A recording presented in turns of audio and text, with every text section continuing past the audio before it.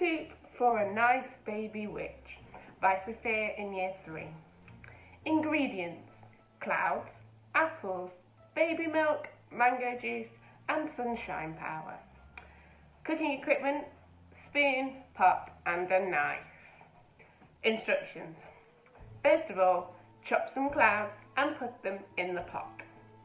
Next, slice the apples, but don't put them in the pot, put them in the fridge.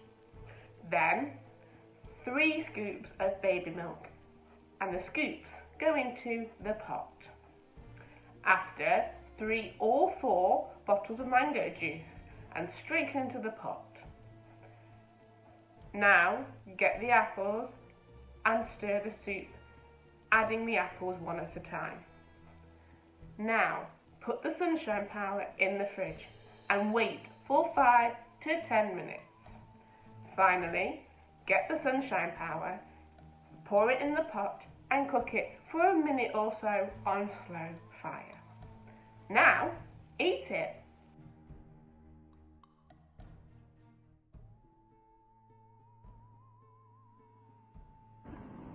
Creepy Scotch broth. Ingredients 10 fat tadpoles, 2 purple toads with green warts, 3 spiders' legs, 4 fish eyes, 3 rats drained of blood, 25 carrots diced, 3 onions diced, 3 litres of fish stock, and 10 fat juicy frog legs. Method. Make the fish stock using instructions from box and bring to boil in the cauldron. Carefully cut and dice both the carrots and onions. Add them to fish stock already boiling in the cauldron. Carefully pull off the 10 fat tadpole legs and the 10 fat frog legs. Cut them in half, adding them to the broth. Chop up the three spider's legs, adding them too.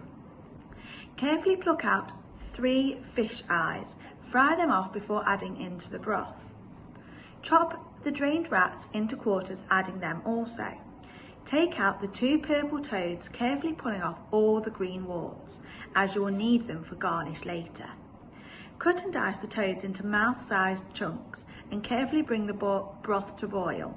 Simmer on a low heat for two hours. Add the green warts for garnish before serving.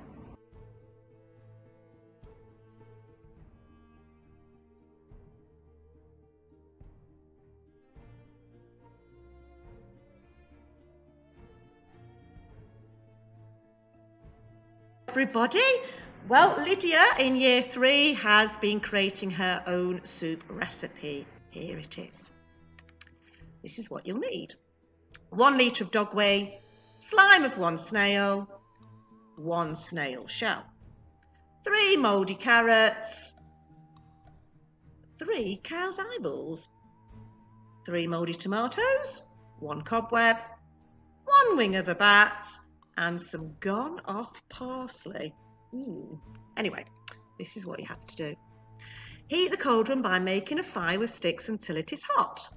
Pour one litre of dog into the cauldron and bring it to the boil.